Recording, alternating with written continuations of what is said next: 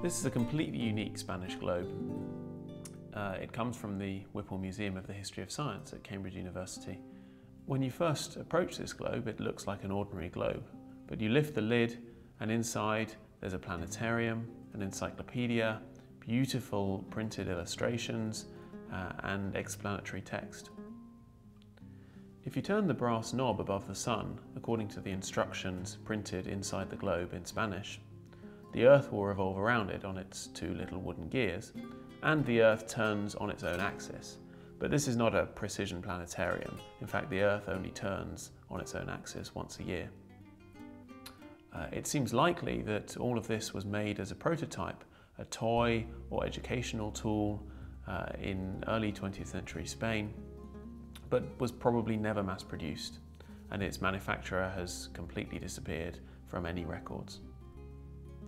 And if we think about Spain's modernization at the start of the 20th century, it's important to understand that there were strong trends and currents towards uh, educational reform, uh, in which teachers would no longer be standing at the front of the classroom lecturing to children who were passively learning, but instead there would be a much more active learning environment.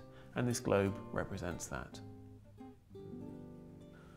We sometimes think of museum objects as being perfect samples in mint condition, but in fact often objects can tell us a lot more when they're damaged or, or have been used in some way.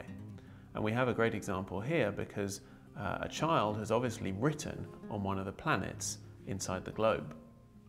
One of the planets bears the word in pen solo, uh, which of course means only or alone in Spanish.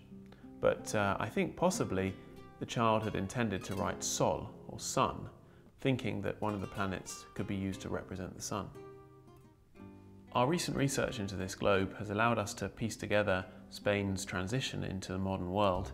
Uh, it involves industrial change, it involves educational reforms, it involves international trade and political upheaval on a grand scale. It's all symbolised by this unique globe. This globe has gone from being a prototype made near Valencia according to Central European models, into a school or family.